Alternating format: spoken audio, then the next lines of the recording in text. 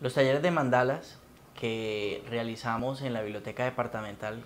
que nos han permitido este espacio queriendo innovar y promover la cultura y la arteterapia para los vallecaucanos, nos permite que cada 15 días podamos llegarle con técnicas desde los mandalas con múltiples temáticas que van desde el niño interior, los ángeles, los archivos akáshicos, sanación del linaje, el oponopono, eh, abundancia, etcétera, todo desde la arte terapia de los mandalas. Entonces eh, estamos muy contentos realizando este proceso desde el año pasado que en conjunto eh, con mi esposa Carolina Escolaro venimos realizando estos talleres cada 15 días los sábados de 9 y media a 11 y media de la mañana. Eh, yo creo que la palabra mandala nos puede sesgar hacia el oriente porque viene del sánscrito que significa círculo, sagrado pero los mandalas eran utilizados de hecho eh, por todas las culturas y de hecho los muiscas, que es nuestra cultura aquí en Colombia, eh, lo utilizaban en pictogramas. Es que como lo dice Carl Jung, eh, precursor del psicoanálisis,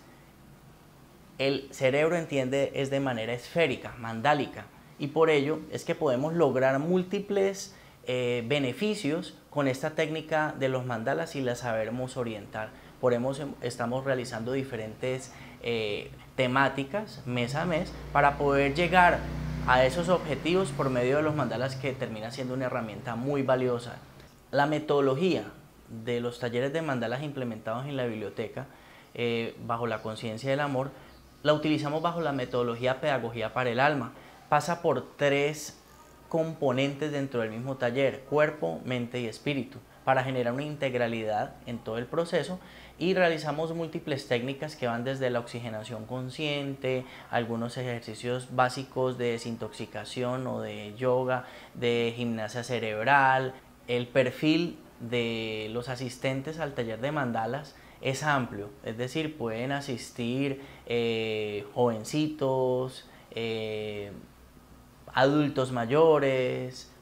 toda la población es muy bienvenida y muchos de los casos llegan las familias completas a tomar los cursos de los talleres de mandalas y pues es muy beneficioso porque empiezan a hablar el mismo lenguaje, a tener como una mayor tranquilidad y mayor manejo y regulación de sus emociones. Invito a, todos los caleños y vallecaucanos eh, que son muy bienvenidos en estos, en estos talleres de arte terapia con los talleres de mandalas en la biblioteca departamental podemos llegar a generar una mayor regulación de sus emociones, una mayor tranquilidad, un enfoque desde el ser con una técnica tan básica, tan dinámica y tan agradable de realizar como son los mandalas. Bienvenidos.